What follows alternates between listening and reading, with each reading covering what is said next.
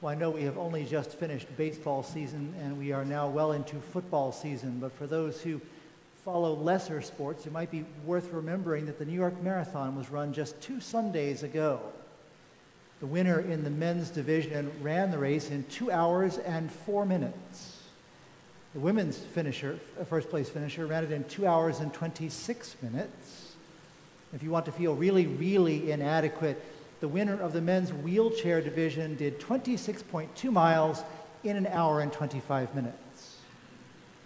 I can't even imagine driving around 26 miles of New York City in an hour and a half. You probably couldn't. Good for them. These are, these are remarkable accomplishments. and It makes us wonder well, what do people do? How, how do they even prepare for this sort of thing? And of course, there's a lot of training and skill and, and, and time that goes into getting ready to do that sort of thing. It comes down in a way to just how do you manage what you've been given, the gifts you have. In some ways, those gifts are things you can't really control entirely. The winner of the men's division is an Ethiopian named Tamirat Tola, who is 32 years old. He's 5 feet 11 and weighs 130 pounds. Indeed, all of the finishers, the top three finishers in the men's and women's divisions were Kenyans and Ethiopians, uh, for whatever that may mean. They, they dominated in the sport. But it seems like it's more about what each of those individual people did with the gifts that he or she had been given, how he or she managed a literal weight in that case, but also the, the more sort of metaphorical weight of training and psychology everything else that goes into being able to run a very, very long distance. Certainly, uh, it's discouraging to those of us who perhaps don't weigh 130 pounds anymore to think of even doing that sort of thing, but maybe there's a little bit of hidden encouragement in it. It turns out that in amateur racing, in, among those who don't run at quite such an elite level, there are other categories for runners. In, among men, it's called Clydesdales. Among women, it's called Athenas. I don't really know what the cutoff is for women, but for men, you have to weigh at least 200 pounds to run as a Clydesdale. So it isn't really even about mass so much as how you manage it and what you're using it for, how you have it organized on that day, and how your head is able to tell the rest of you what it is you're going to do. Certainly, it's, it's dangerous, I think, in some ways, to get too far away from that idea I, as speaking as one who has moved 24 times in my life, I know about what everything I own weighs. Because every time you move, the moving company comes and they charge you based on the weight of your possessions. It's worrying to have your entire life reduced to just a number in that way, but it's also a useful reminder of how much junk I'm dragging around in my life. And a useful occasion every time I do move to stop and think how much of this weight do I use routinely? How much of this weight am I not making good use of? How much of it is really just slowing me down as I try to lug it along behind me as I go through my life? There is something of that in what Jesus is telling his listeners and is telling us this morning, I think. It's tempting for us as 21st century people to imagine that when this man went away and gave out his property to his employees, slaves, servants, whoever they may have been, uh, he gave them a debit card. But in reality, he didn't, because a talent is a unit of weight, not a unit of money. It was different in different countries. I actually spent some fascinating time looking this up this week. But what Jesus was talking about, the, the talent he was referring to, probably worked out to about 130 pounds, which coincidentally is the weight of the winner of the New York City Marathon for those playing at home. And if you need something more realistic to attach that to, a talent of apples, for example, based on what Acme is charging this morning, would cost about $400. Would be worth about $400. A talent of gold on the spot market this morning would be worth about $3.8 million. So differences in value, but also differences in what we have to do with them, what our head says we need to do. If I keep a talent of gold for a thousand years, it will look exactly the same at the end as it does now. If I keep a talent of apples for a week, it will no longer be useful for much of anything. So there is something in that, that weightiness that calls us to think about what we're doing with the gifts that we have been given, what it is that we're lugging around with us, and whether indeed lugging is even the word we should be using. Because what Jesus is really trying to point us toward are the gifts that God has given us, which may feel weighty, but if we're using them properly, should be so productive, so fruitful in the world they should seem entirely worth whatever the effort is it takes for us to carry them around. That's all a lovely history lesson and something fascinating to think about this week, and I could sit down and say amen, but of course I won't. Because the obvious next thing to ask is, well, yeah, so what? So then, how then shall we live? What does any of this mean? As I go through my daily life, how is it that I'm supposed to be thinking about the gifts I have been given and whether I'm using them appropriately. Here again, I have to go back to running, one of my favorite subjects. It comes down, I think, to equipment and training. If you ever go to any sizable race, 10K race, half marathon, marathon, whatever it is, just try not to become distracted by the shoes. If you look around, everybody has on a different pair of shoes. I've never understood this. There's a limited number of manufacturers of shoes. They can't be making new varieties every week, and yet everybody's shoes look different. And in part, the reason for that is because running has become so scientific that when you go into a store that sells running shoes, you can't just buy a pair of running shoes. First, you have to go through a gauntlet of answering a thousand questions. How often you run, how far you run, how your feet hit the ground, what kind of insoles, your, your instep you have, do you have a good arch, do you have a bad arch, how are your knees, how are your ankles, all these are things you have to talk about before they'll bring out five or six pairs for you to try on and go run on the sidewalk to see which one works for you the best. The same is true with clothes. Early in my running career, I used to run in cotton t-shirts in the South in the summer. It didn't take me long to realize that cotton soaks up sweat and then it doesn't dry. And in line with the theme of this whole sermon, you're then carrying around the literal weight of your own sweat, reminding yourself of the efforts you're making and unable even to get away from it. You can't run away from your own sweat. Make that the tagline for the sermon this week. And the same is true with training. I was talking to people from 8 o'clock between services. They were asking why it is that I haven't run any marathons. I've done half marathons, but never the whole thing.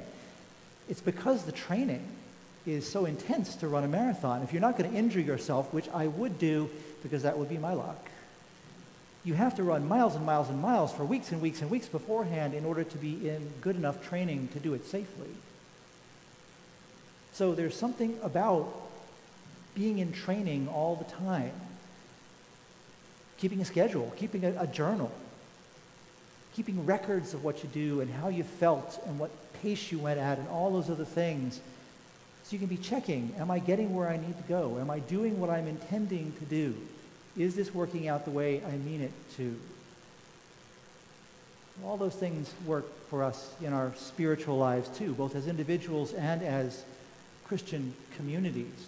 And St. Paul is getting at this a little bit in this one line in the, the, epistle lesson from this morning. Apparently, it was a theme he likes because he does it two or three times items of clothing and what their spiritual significance may be. Today, it's just what? Helmet and breastplate.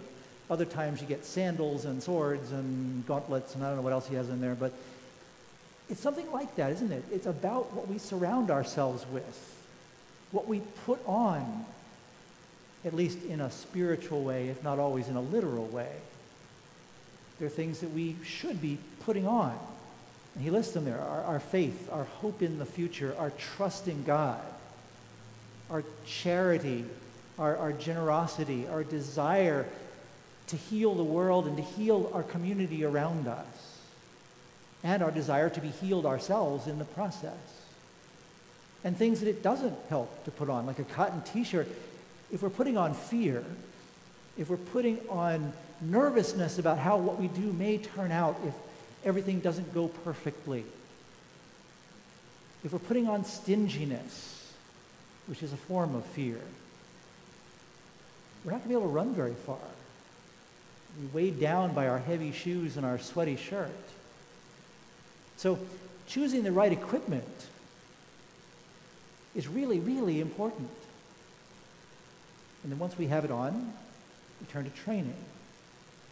Here I have something to report from the, the convention of the diocese. Yesterday we heard a lot about the bishop's blueprint for the future. He rolled this out last year, but it really began to get some traction this year. A five-year plan for where he would like us as a group of Christians in Delaware to be by the time we get to the end of the five years that begin now and end in 2028. None of it is, well, we're going to achieve this specific thing and we're going to have this specific measurable, uh, but it gives us a lot of ideas of what we ought to be doing as far as the way we train our souls and train our attentions as communities to better live what it is God intends us to live, to be whom God intends us to be. So there are three main areas in the bishop's blueprint. They are discipleship, service, and growth. All of those sound like good things, but you know, so what? What's in that? What does that even mean? By discipleship, what I think he's pointing us toward, what we should be thinking about, is how we deepen our relationship with Jesus, both as individuals and collectively. How is it that we stay in training to be able to be good disciples of Jesus? We do those things here. We have those opportunities here. There is a Bible study here every Wednesday at 1030. A weekly opportunity to dig into Holy Scripture with other Christians. To have some of the not rough, rough edges knocked off our understanding of what the Scripture says and to hear what other people are doing in their faith lives. We have ongoing opportunities on Sunday mornings for Christian formation for children and for adults. We've only just finished a session on Christianity in America. Before that, it was the Desert Fathers and Mothers. Now, next, it's going to be the, the Rule of St. Benedict in January. After that, we're going to talk about Christianity and mental health. On and on and on. And this is just the, the, the latest few things in a long series of things that we have done not just to have something entertaining to hear about on Sunday morning, but to give the Holy Spirit an opportunity to, opportunity to unlock one more room in our hearts where perhaps we've never even been and where there may be a treasure we have never even found. If we don't do that, how can we possibly hope to share any of it? If we are not good disciples, how can we hope to explain to anybody else what the, the nature of our own faith is. Why do you keep going to that place on Sunday morning? Why won't you do whatever fill in the blank unethical thing? Well, let me tell you. That's usually where Episcopalians get just a little sweaty in the palm because it starts to sound a little too much like evangelism. But if we understand it as being the way that we run the race we've been training for, it looks a little different. The next major area is service.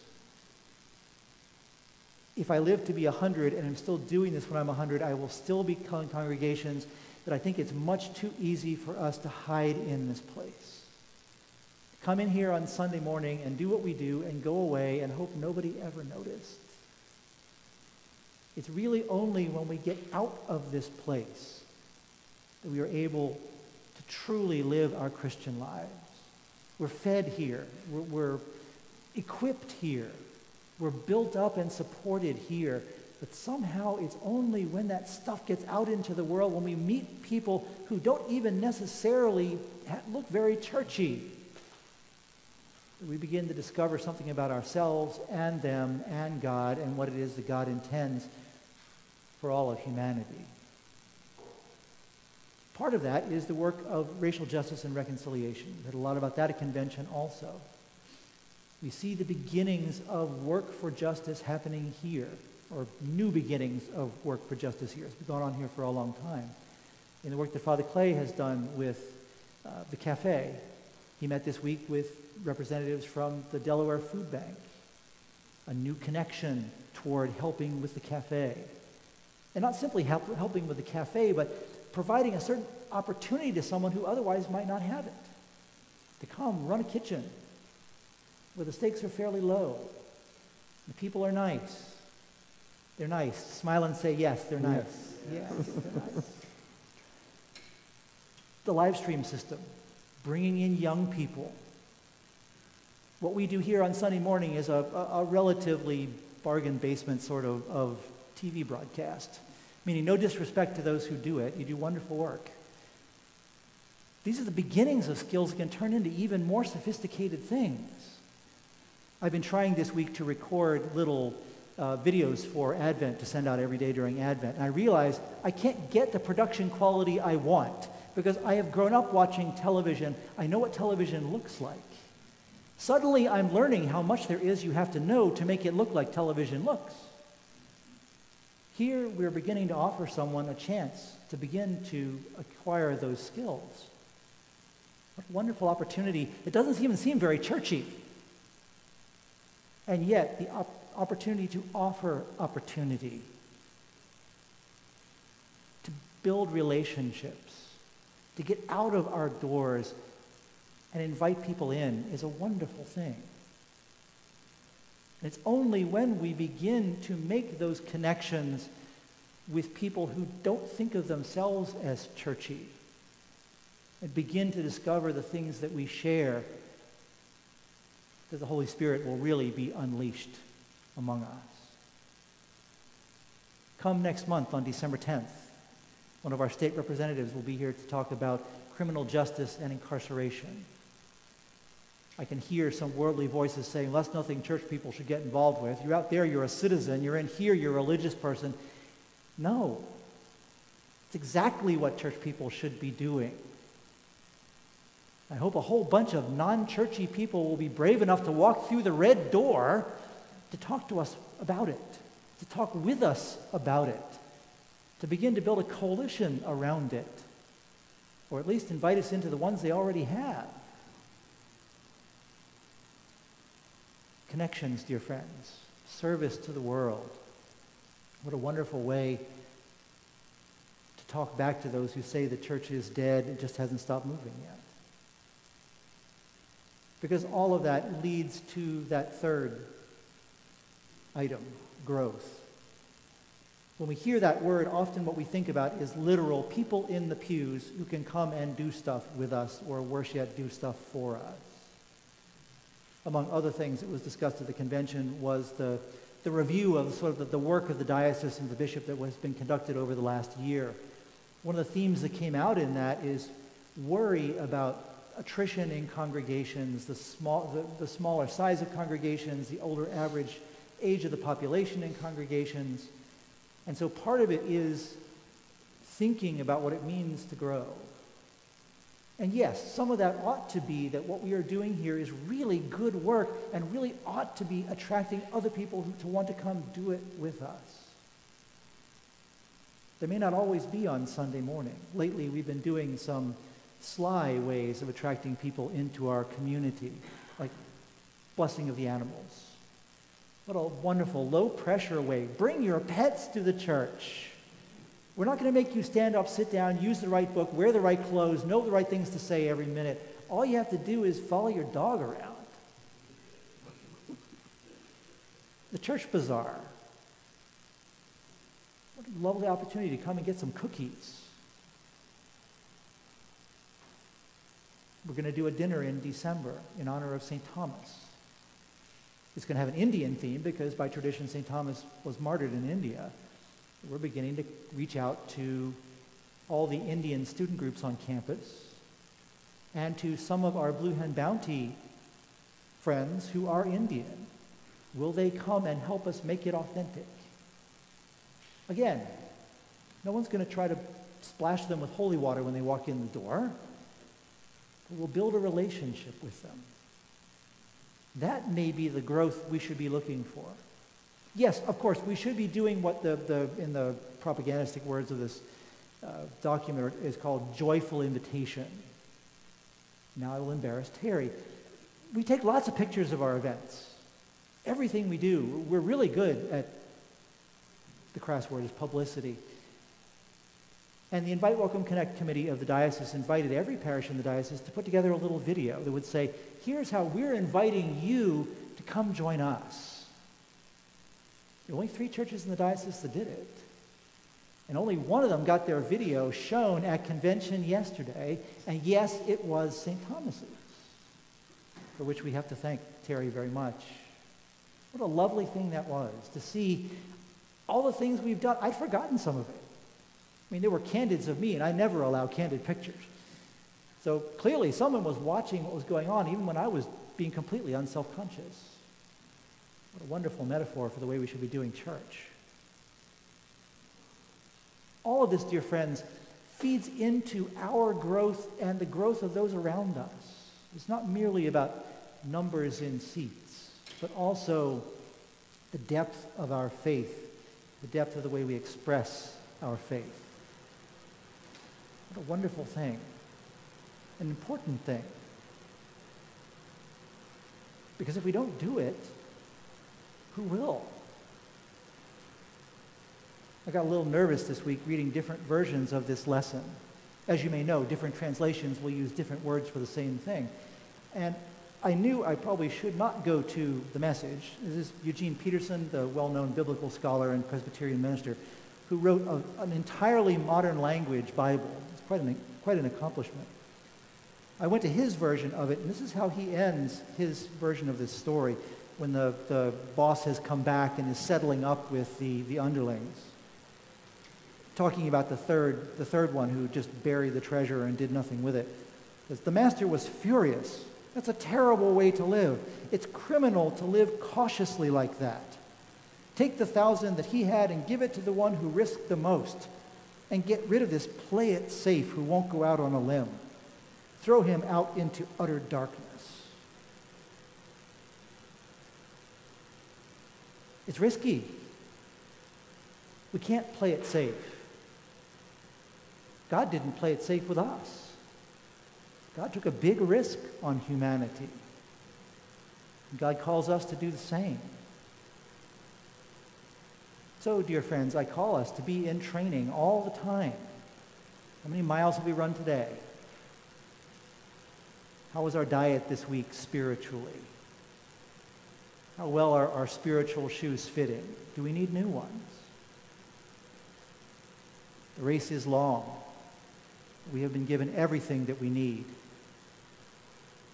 We can easily bear what it is God has laid upon us if we will only do it in God's Spirit and in God's way. Amen.